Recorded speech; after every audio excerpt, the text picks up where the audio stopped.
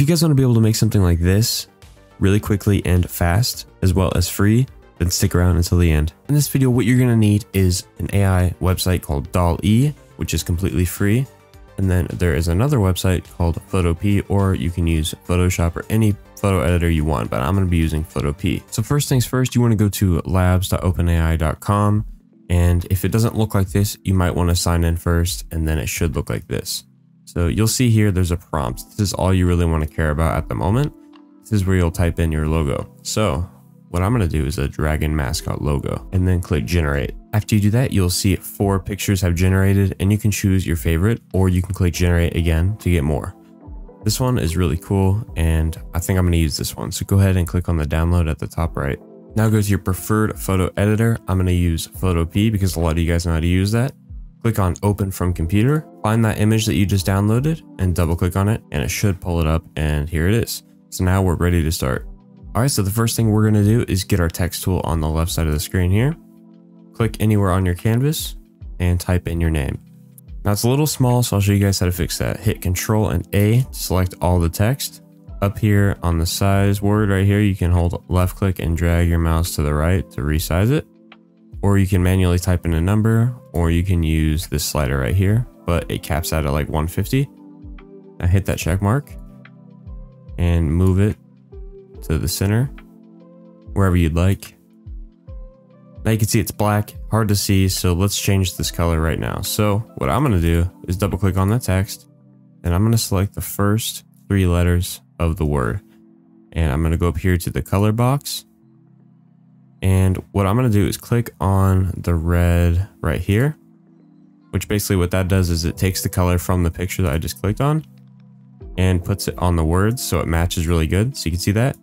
And now I'm going to change the black to a gray, like this one over here. Boom. So now it looks really cool. Now what we got to do is find a good font. So double click on your text again, go up here to this button and find a font that you like. All right, so this is the font I decided on. Now we're just to click on the check mark. And now it's a little bit too big still, so I'm to change that size by hitting Control, Alt, and T.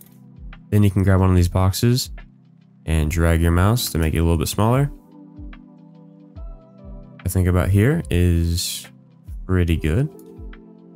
Hit that check mark. Now we're to edit the text a bit, so double click on your text box right here. Go to stroke. And we're going to turn the stroke up to about 15. Click this plus sign next to the stroke to add another and change this one to white.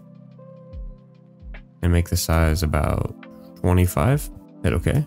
Now one thing I'm going to do is because the dragon's a little bit lower than I'd like, I'm going to move that picture up a bit to about like right here.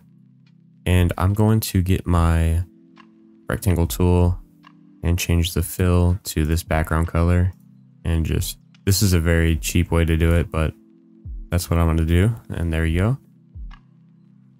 Now we can just continue back to where we were. So now what I'm going to do is I am going to make sure my text is selected go up to this warp button right here, change the style to whatever you want, but I'm going to go with uh, shell lower. I think that looks pretty good. And I'm going to change the bend quite a bit. And I think maybe a little bit less. I might even change the font because I'm not a huge fan of it anymore. So let's go ahead and change the font again. You can keep yours, but I'm going to change mine.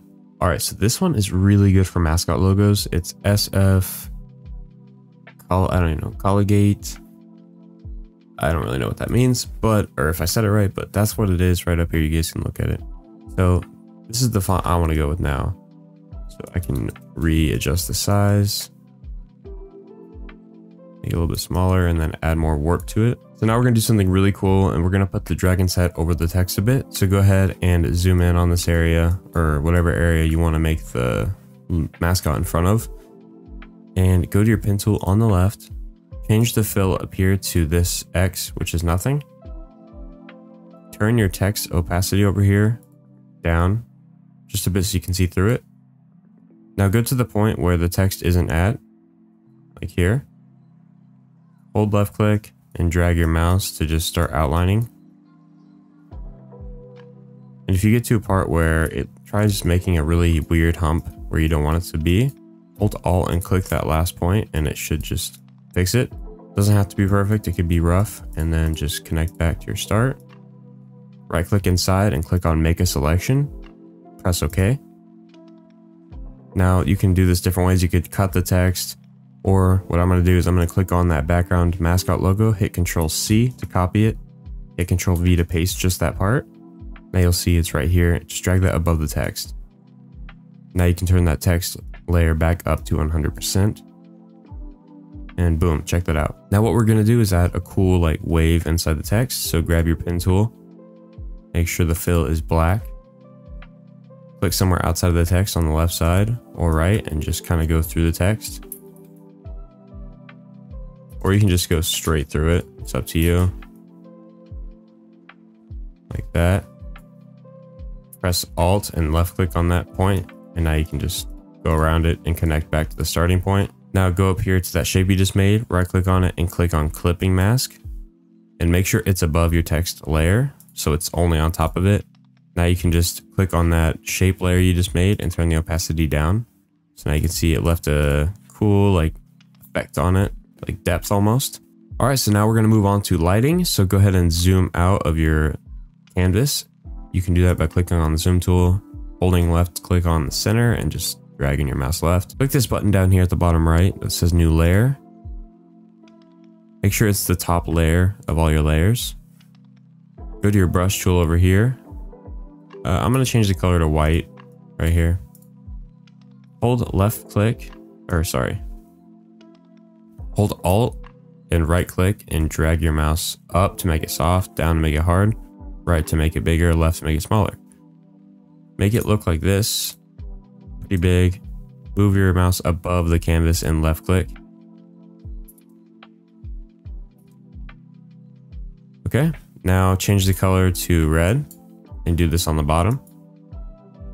We're gonna change the blend mode over here on that layer to color dodge. And turn the opacity of it down.